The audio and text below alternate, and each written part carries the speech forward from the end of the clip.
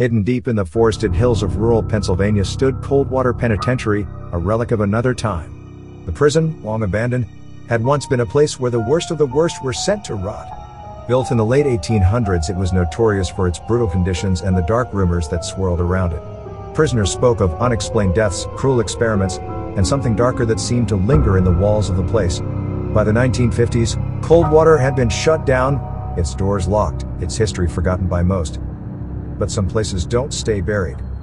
In the decades since its closure, stories began to circulate again, stories of strange lights in the empty windows, of eerie screams that echoed through the night, and of figures moving behind the rusted bars. Local teenagers would dare each other to venture onto the grounds, but no one stayed long. The air around Coldwater was thick with something sinister, something that kept even the most curious at bay. For decades, the prison stood silent, a crumbling monument to the horrors it had once contained that is, until a group of paranormal investigators, eager for fame and recognition, decided to document their experiences inside the infamous Coldwater Penitentiary. They were drawn by the rumors, the whispers of ghostly prisoners still trapped within its walls, and the tales of guards who had gone mad after witnessing unspeakable horrors. They were looking for proof of the afterlife. What they found was far worse. The group consisted of five members, each with their own reasons for wanting to explore the paranormal. There was Travis, a leader, seasoned investigator who had spent years chasing shadows in haunted houses and forgotten cemeteries. His obsession with the supernatural had grown since the death of his sister, and he was determined to prove that ghosts were real. Kara, his girlfriend, was a skeptic, but she enjoyed the thrill of the hunt. She believed that most hauntings could be explained away by science or psychology, but she had agreed to join the team out of a desire to support Travis. Lucas was the tech expert, he had spent the last few years building custom ghost hunting equipment, including motion detectors, thermal cameras, and EVP, electronic voice phenomena, recorders. He was excited to try out his new gear in a place as notorious as Coldwater. Maya, the psychic medium, had always been sensitive to spirits. She had been part of the group for a few months, but she was reluctant to visit Coldwater. The moment Travis mentioned the place, she felt a heavy weight pressing down on her chest, a warning, perhaps. But she pushed it aside telling herself that it was just nerves. And finally, there was Jake, the documentarian. He had been brought on to film their investigation, hoping to capture evidence of the paranormal for a documentary series they were producing. Jake didn't believe in ghosts, but he believed in a good story, and Coldwater was brimming with potential. The five of them set out early one Saturday morning, driving through the winding forest roads that led to the prison. The sky was overcast, casting a gray pall over the landscape, and by the time they reached the gates of Coldwater, a sense of unease had settled over the group. The prison loomed ahead of them, its towering stone walls cracked and covered in ivy. Rusted barbed wire curled along the top of the walls, and the main gate hung open, creaking softly in the wind. The air smelled of damp earth and decay, and a thick fog clung to the ground, swirling around their feet as they stepped out of the car. Wow, Jake muttered, lifting his camera to film the exterior of the prison. This place is even creepier than I imagined. Maya shuddered, pulling her jacket tighter around her shoulders. There's something wrong here, she whispered. I can feel it. Travis smiled, though there was a nervous edge to his voice. That's what we're here for, right? To find out what's going on. Kara glanced at the dark windows of the prison, her arms crossed. Let's just get this over with. The sooner we start, the sooner we can leave. Lucas was already unloading the equipment from the van, excitement gleaming in his eyes. This place is perfect, if there are spirits here, we'll catch them. None of them noticed the way the fog seemed to cling to the walls of the prison, or how the shadows inside the windows seemed to shift, watching them with an almost predatory intent. The group entered through the main gate, stepping into the massive courtyard where prisoners had once milled about during their brief moments of daylight. The silence was oppressive, the only sound the echo of their footsteps on the cracked concrete. The air was thick with moisture, and the chill in the air seemed to seep into their bones. The main cell blocks were in disrepair, rows of rusted bars and crumbling walls stretching out in every direction. Moss and ivy had overtaken much of the structure, and graffiti from past trespassers marred the walls. The place smelled of mildew, rot, and something else, something metallic, like blood. Maya winced as they walked through the corridor leading to the solitary confinement cells. I don't like this, she murmured. There's so much anger here. Pain. Kara rolled her eyes. That's probably because it's a prison. People were locked up here for years. It's not going to feel like a day at the beach. Travis, ever the optimist, grinned and patted Maya's shoulder. Exactly. If we're going to get any readings, it's going to be here. Let's set up the gear. They began by placing motion sensors and EMF detectors in the cell blocks, hoping to capture any signs of movement or fluctuations in the electromagnetic field. Lucas set up his thermal camera to scan for cold spots, while Jake followed them with his handheld camera, documenting every step of the investigation. But it wasn't until they reached the asylum wing, the part of the prison where the most violent and disturbed inmates had been kept, that things started to go wrong. The asylum wing had been the heart of Coldwater's darkest rumors. It was said that the prison had conducted experiments on the prisoners here, using them as unwilling subjects for cruel psychological and medical trials. Many had died in agony, their minds shattered by the horrors they endured. As they stepped into the wing, Maya froze. Her face went pale, and she clutched her head, her breath coming in short gasps. Maya? Travis asked, concern in his voice. What's wrong? She didn't answer at first, her eyes wide with terror as she stared down the long hallway lined with padded cells. There are so many of them, she whispered. They're still here. They never left. Travis frowned. Who? Maya shook her head, tears welling in her eyes. The prisoners. They're trapped. They're angry. Suddenly, the lights on the EMF detector spiked, flashing wildly. Lucas glanced at the device, his brow furrowed. That's a strong reading. Something's close. Kara stepped forward, her flashlight beam cutting through the darkness. It's probably faulty wiring. This place is falling apart. But before she could finish, the motion sensor at the end of the hallway beeped, its red light flashing. Everyone turned to look. There was no one there. Jake swung his camera toward the sensor, filming the empty hallway. Is that supposed to happen? He asked, his voice shaking. Lucas frowned, checking the readings on his thermal camera. It's picking up something. A cold spot. Just by the last cell. Travis grinned, though the excitement in his eyes had given way to nervous energy. We've got activity, people. Let's check it out. Maya didn't move. We shouldn't be here, she whispered, her voice barely audible. They don't want us here. Travis, Kara, and Lucas moved down the hallway toward the motion sensor, their flashlights casting long shadows on the walls. The air was colder now, almost unnaturally so, every step they took seemed to echo louder than it should have. Jake followed close behind, his camera trained on the end of the hall where the sensor had gone off. He kept glancing at the small screen, expecting to see something, anything, move in the darkness. But the hallway remained still. As they approached the last cell, Lucas stopped, his face pale as he looked at the thermal camera screen. What is it? Kara asked, shining her flashlight toward the cell. There's a figure, Lucas said, his voice trembling. It's cold, but it's shaped like a person. Travis stepped forward, peering into the cell through the rusted bars. His flashlight flickered for a moment, and for the briefest second, he thought he saw something, just the outline of a figure, standing in the far corner of the cell, watching him. He blinked, and the figure was gone. I saw something, he whispered, stepping back. There was someone in there. Jake aimed his camera into the cell, his hand shaking slightly. I didn't see anything. Maya, who had stayed behind at the entrance of the wing, suddenly let out a sharp gasp, clutching her head again. They're coming, she whispered, her voice filled with panic. They're all coming. Before anyone could respond, the lights in the hallway flickered and went out. The darkness was sudden, complete, and suffocating. The air around them seemed to thicken, growing colder by the second. For a moment, no one moved. Then, from the depths of the asylum wing, a low, guttural moan echoed through the halls, a sound filled with agony and rage. Kara's breath caught in her throat. What the hell was that? Travis shined his flashlight around, but the beam flickered weakly, barely piercing the darkness. Lucas, get the equipment back online. But Lucas wasn't listening. His eyes were fixed on the thermal camera, his face white as a sheet. There's something coming, he whispered. It's everywhere. Suddenly, the motion sensors began beeping wildly, one after the other, as if something or many things were moving through the hallway toward them. Maya's voice trembled, tears streaming down her face. They're angry. They want us to leave. The moaning grew louder, closer, and with it came the sound of footsteps, slow, shuffling footsteps, echoing off the walls of the asylum wing. Travis turned, his heart pounding in his chest. We need to get out of here. Now. But before they could move, the shadows shifted. From the cells, figures emerged. Dark, twisted shapes that moved with unnatural speed. their forms flickering in and out of the dim light like they were made of smoke and shadows. Jake let out a strangled cry, backing away, his camera still rolling as he tried to capture the figures on film. But no matter where he pointed the lens, the shadows seemed to evade it, slipping just out of view. They're coming. Maya screamed, her voice filled with terror. They're coming for us.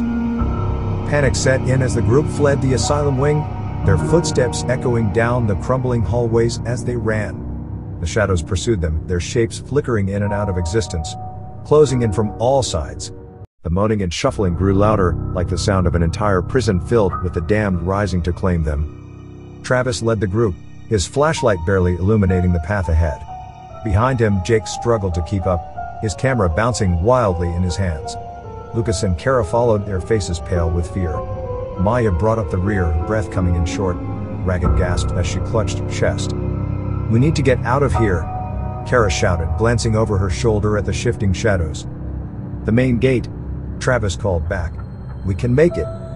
But as they neared the exit, a deafening crash echoed through the prison, followed by the sound of heavy iron doors slamming shut. The shadows grew thicker, closing in around them, their forms taking on more defined shapes, twisted, grotesque figures with hollow eyes and gaping mouths. Travis skidded to a stop at the main gate, only to find it sealed shut. What the hell? He muttered, his hands frantically tugging at the rusted bars. It was open when we came in. Behind him, the shadows crept closer, their ghostly forms swaying as they moved. They're not letting us leave, Maya whispered, her voice barely audible. They're trapping us here. The air grew colder, and the walls of the prison seemed to vibrate with an unnatural energy. The figures reached out with shadowy hands, their whispers filling the air, distorted and agonizing. Lucas dropped to his knees, clutching the thermal camera to his chest as he stared at the screen. They're all around us. We're surrounded. Jake, still filming, stumbled back, his heart pounding in his chest. He could feel the cold breath of the shadows on the back of his neck, could hear the faint, raspy whispers in his ear. They're real, he whispered, his voice filled with disbelief. They're actually real. Travis slammed his fists against the gate, his mind racing. There has to be another way out. A window, door, something. Suddenly, a low, guttural growl echoed through the air, louder than the whispers, louder than the moaning. It was the sound of something far more malevolent than the spirits of the prisoners, something ancient, something evil. Maya's eyes widened in horror. It's here. Before anyone could react, the shadows surged forward, enveloping them in a wave of darkness. Cold hands reached out, pulling at their clothes, their skin. The air was filled with the sound of screams, some their own, some belonging to the damned souls trapped within Coldwater's walls. Travis felt the ground shift beneath his feet, as if the prison itself was alive, pulling them down into the darkness.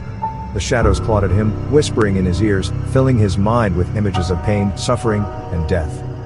We need to move, Kara shouted, grabbing his arm and pulling him toward one of the side doors. There's got to be another way out. They stumbled through the side door into another corridor that led deeper into the prison.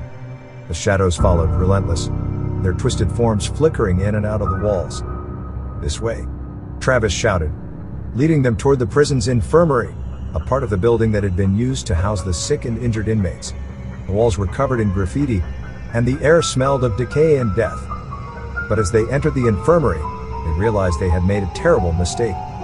The room was filled with broken gurneys, rusted medical equipment, and blood-stained walls. The shadows were thicker here, the forms more solid, more defined. And in the center of the room, strapped to a gurney, was a figure. At first, they thought it was another ghost, another twisted shadow of the past. But as they approached, they realized with horror that it was something far worse. The figure was human, or had once been human. Its skin was pale and stretched tightly over its bones, its eyes hollow and lifeless. Its body was covered in deep, festering wounds, and its mouth hung open in a silent scream. But the most terrifying part was the chains. Thick, rusted chains wrapped around the figure's wrists and ankles, holding it down, as if it had been trapped there for centuries. Maya let out a strangled gasp, clutching her chest. This is. This is where they kept him. Kept who? Jake asked, his voice shaking. The warden, she whispered. He wasn't human. He, he controlled them. He controlled all of them. Travis took a step back, his face pale. We need to get out of here. But before they could move, the figure's eyes snapped open. The air grew heavy, thick with the stench of rot and death. The shadows surged forward, enveloping the group in a wave of darkness. And then, the warden spoke. The voice that filled the room wasn't human. It was deep, guttural, and filled with centuries of malice and hatred. The very sound of it seemed to vibrate in their bones, sending waves of nausea through their bodies. You have trespassed where you do not belong, the warden growled, his hollow eyes fixing on the group. This is my domain. You will not leave.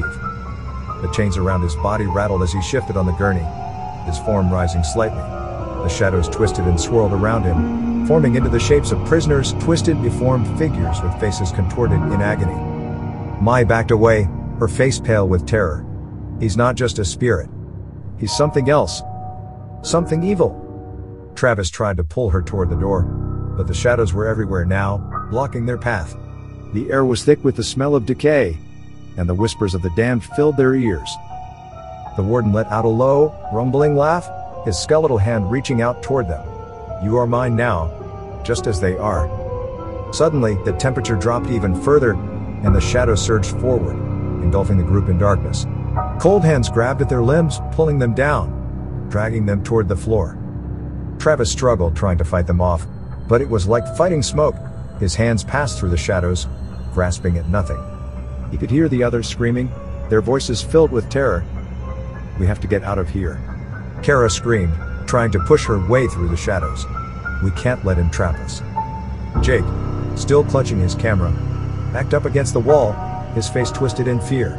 There's no way out, he whispered, his voice barely audible. We're trapped. Maya dropped to her knees, clutching her head. He's in my mind, she whispered, her voice trembling. I can hear him.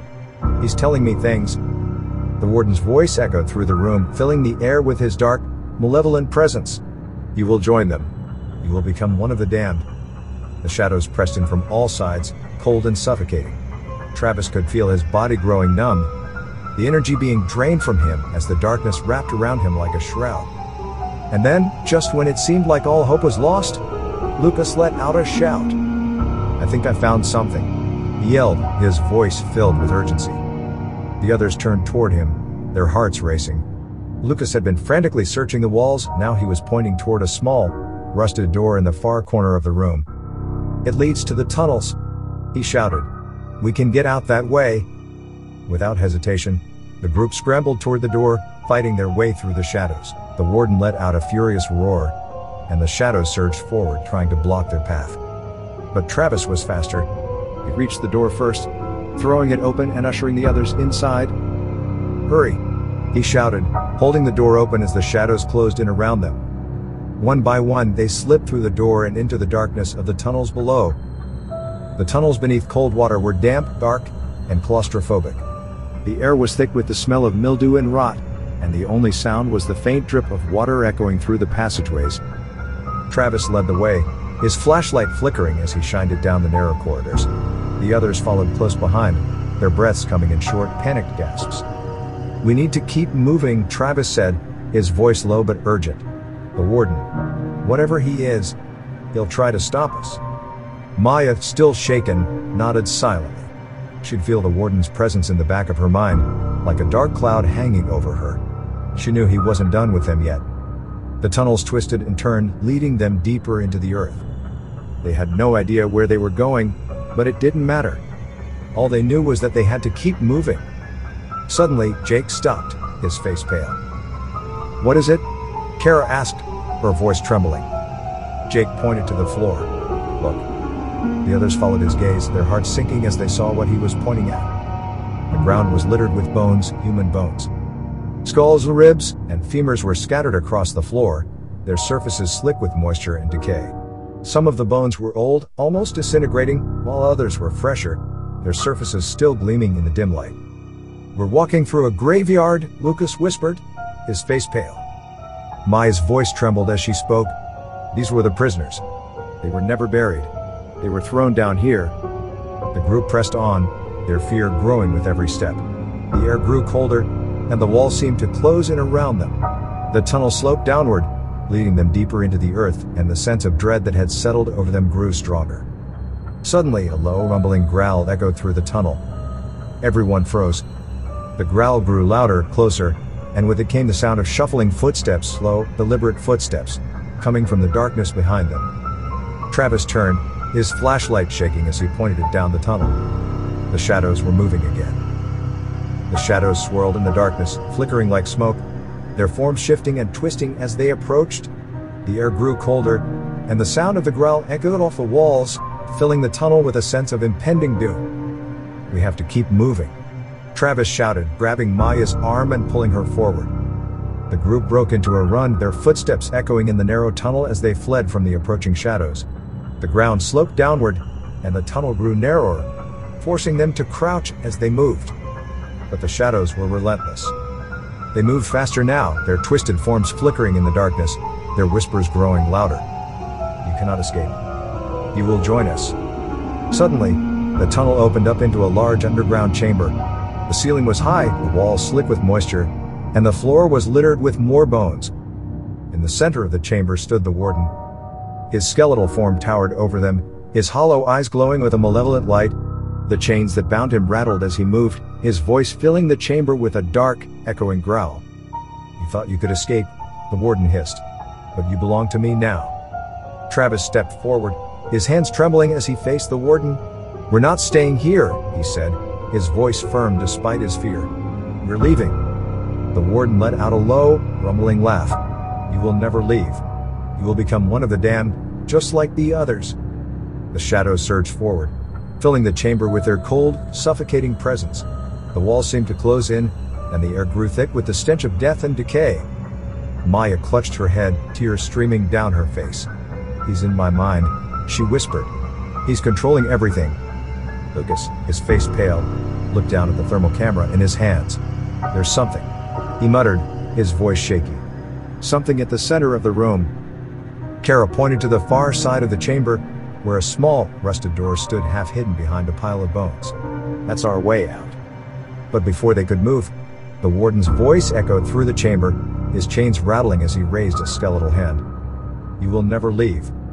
The shadows surged forward, enveloping the group in darkness. Cold hands grabbed at their limbs, pulling them down, dragging them toward the floor. Travis struggled against the darkness, his heart pounding in his chest. He could feel the cold fingers wrapping around him, pulling him down into the earth. But he wasn't going to give up. With a surge of adrenaline, Travis pushed himself forward, breaking free from the shadows. He grabbed Maya's arm and pulled her toward the door, his breath coming in ragged gasps. Come on, he shouted, his voice filled with urgency. We're almost there. Lucas and Kara followed, their faces pale with fear as they fought their way through the shadows. The warden let out a furious roar, his chains rattling as he reached for them. But they were faster. One by one, they slipped through the door and into the darkness beyond. The group emerged from the tunnels into the cold night air, their bodies bruised and exhausted, their minds reeling from the horrors they had witnessed. The forest was quiet, the moon casting a pale light over the landscape. The prison loomed behind them, a dark, hulking silhouette against the sky.